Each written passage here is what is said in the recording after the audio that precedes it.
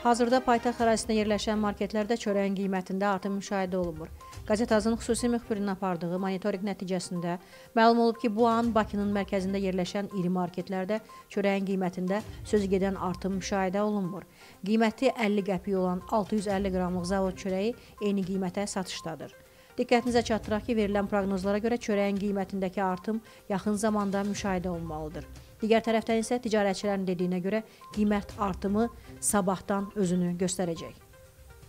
Videonun sonuna gəldik. Bu cür videoların davamı üçün videonu bəyənməyi və kanala abunə olmağı unutmayın.